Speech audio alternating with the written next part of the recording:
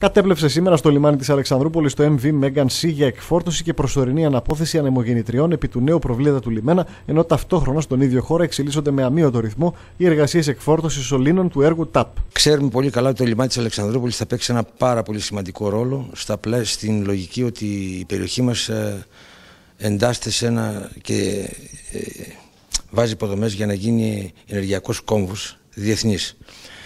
Ε, ενεργειακός κόμβος δεν σημαίνει μόνο φυσικό αέριο, δεν σημαίνει μόνο ε, υγροποιημένο φυσικό αέριο, δεν σημαίνει αγωγός πετρελαίου ενδεχομένως, σημαίνει και άλλα πράγματα, ό,τι έχει να κάνει με εξοικονόμηση ενέργειας, με ε, ανεμογεννήτριες.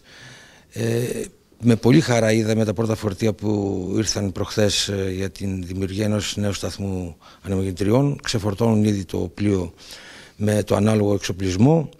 Έχουμε την ε, εικόνα ότι τις αρχές του επόμενου χρόνου θα έρθουν άλλα δύο τέτοια προγράμματα με ανεμογεννήτρες που θα χρησιμοποιήσουν το λιμάνι σαν σημείο εκφόρτωσης και αποθήκευσης των του εξοπλισμού. Σύμφωνα με τον κύριο Δουκά, η αξιοποίηση των συγκριτικών πλεονεκτημάτων και των νέων σύγχρονων υποδομών του λιμένα συνεχίζεται με την προσέλκυση διαρκώς αυξανωμένου όγκου ειδικής κατηγορίας φορτίων, ενώ παράλληλα ενισχύει το κυρίαρχος ρόλος του στην υλοποίηση μεγάλων ενεργειακών έργων που καθιστούν σταδιακά την Αλεξανδρούπολη με επίκεντρο το λιμάνι της σε σημαντικό ενεργειακό κόμβο στην περιοχή της Νοτιοανατολικής Ευρώπης. Ξέρουμε ότι σε πολύ λίγο διάστημα, σε, σε λίγες μέρες, θα έχουμε μια συνάντηση με τους αναδόχους του έργου του σταθμού συμπίεσης του αγωγού του ΤΑΠ που ανοίγει μια άλλη ελπιδοφόρα από ιστορία και για το λιμάνι και για την τοπική κοινωνία σε ό,τι αφορά την κατασκευή του σταθμού συμπίεσης στους κήπους.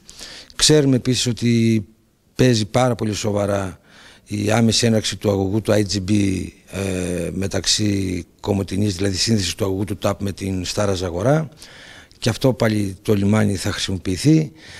Ε, ξέρουμε ότι θα ανοίξει ενδεχομένως και η πλουτή εξέδρα του LNG στην ε, περιοχή μας και αυτό πρέπει να υποστηριχθεί από το λιμάνι της Αλεξανδρούπολης και βέβαια δεν χάνουμε τον βασικό στόχο ότι το λιμάνι μας πρέπει να παίξει τον αποφασιστικό ρόλο του στις συνδυασμένες μεταφορές.